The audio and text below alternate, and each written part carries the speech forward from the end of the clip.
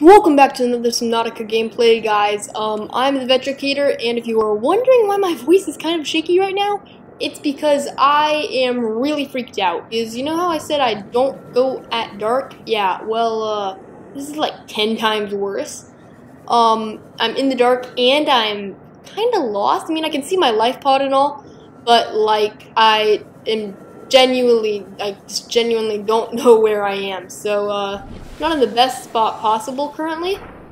So currently we're just kind of scavenging around here, looking for anything. Um, should probably save I found that supply crate back there with that first aid kit, which um, wasn't bad because I'm kind of low on uh, life, so I might need to use that soon. And so we got some metal salvage, some quartz, and ooh, um, let's see what's in the sandstone outcrop. I keep forgetting, um, have I found a sandstone outcrop before? I think I have. Um, there's three different outcrops, I believe. There's sort of that rocky one that um, gives you copper or titanium, and there's the smoother ones which can give you like silver ore and stuff. And holy cow, is this the Aurora? Is that the Aurora? Holy cow. Oh jeez, okay, I am way too close to the Aurora. Holy cow. I mean, I never imagined it being that close, like jeez. Crazy. I, I, there's usually reapers guarding that area, so I didn't think that I'd be able to get back there, but I guess I can just go up and uh, touch it, so interesting. But, um, yeah, you, oh, oh, another supply crate. Let's see what's in this one. Take item. Oh, it's a filtered water bottle. Not bad. I'm kind of low on water again, so, I mean, I guess I could use that um, soon. There's a school boomerang. But anyways, we're just kind of scavenging at the moment for materials and looking for the mobile vehicle bay and uh, currently I have not had any luck. Um, I'm just kind of looking in places that I haven't looked before because that's what helped me with this find the sea glide. Um, I was actually really lucky on that because I found um, two fragments in the same exact area, which was really nice. So um, yeah, that's what basically happened, and um, just gonna go down here. See if there's anything. And um, oh, as, as I was saying before, there are three types of fragments um, that rocky one, like right here, that gives you either copper ore or titanium. Let's see what I got. Copper ore, okay, so yeah, I always get titanium with those. But anyways, there's that kind, then there's a smoother kind that can give you like silver ore, lead, and a bunch of other stuff. And let's check these supply crates because the mobile vehicle bays are usually in, actually I think they're always in the um, supply, uh, not supply crates, in these cargo crates. But that's the thing, I have no luck. They're either empty or they're blocked off, or it's a laser cutter frag, which I've been finding a ton of them lately too. And um, I've also been finding a lot of uh, Sea Glide fragments and perfect timing too. Uh, ever since I found those two um, Sea Glide fragments, they're appearing like everywhere now. It's actually kind of really annoying me that I didn't find them earlier. But um, yeah, they're either empty or they're just blocked off. So no luck in this crash. Um, once I get the uh, laser cutter, which I hopefully will get soon, um, that'll be interesting. So I can, basically in those metal um, wrecks and salvages and stuff, I can basically, if there's any sealed doors, I can cut through it and I can look in them, and then supposedly that's how you find a lot of uh, the mobile vehicle bays.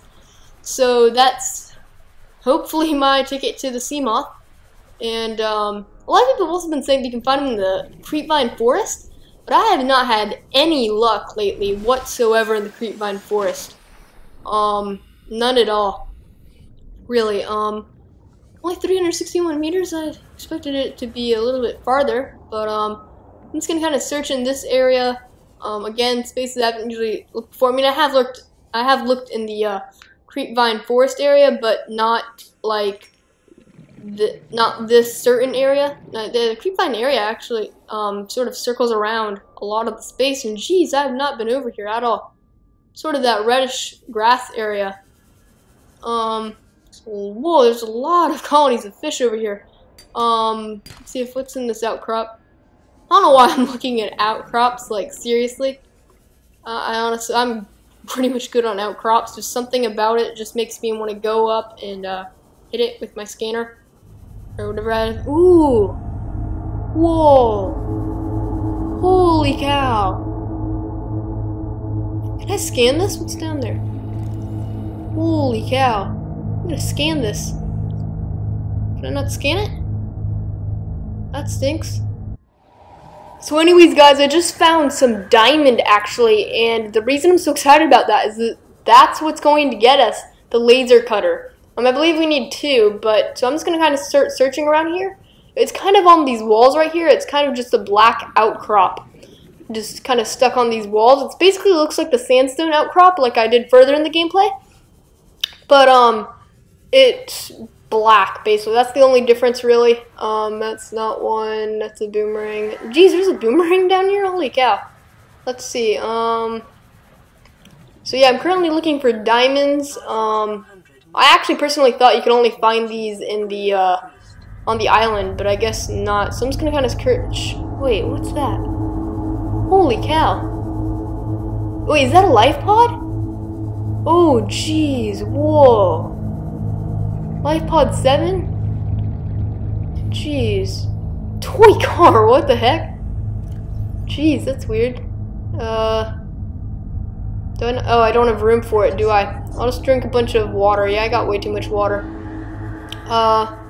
Oh shoot, I should probably go get some oxygen. I didn't realize that. I'm actually pretty far down. Um, it may not look like it up on my top of my screen, but it actually takes me like quite a while to get up to the top. Oh shoot. Oh shoot, am I gonna make it? Holy cow. Oh, jeez, this is cutting it close. Holy cow, that cut it close. Um, well, I survived, luckily. Um, hopefully I can find it again. I'm just gonna dive straight down. I didn't bring a beacon with me, unfortunately, so I wasn't able to mark it, but, um, just gonna keep heading down there. Where'd it go? Oh, okay, there. Stay away from that bone shark. I'm not gonna get those. Yeah, no, those are not the black ones that I need. Um, toy car. How's my inventory still full? I guess I'll just eat this. I mean, it's giving me negative two water, but I have plenty of water. Um, alright, so I picked up that. Uh, pick up cylinder flask. Sure. Abandoned PDA. Is that Markiplier? Holy, what? An unusual doll. Um, but that is about it for the video, guys. I hope you guys enjoyed it. Um, oh yeah, I'm gonna, I should probably read that in my PDA sometime. But um, tell me any tips of finding the mobile vehicle bay down in the comment section. That would really help me out. And I will see you in my next video. Goodbye, guys.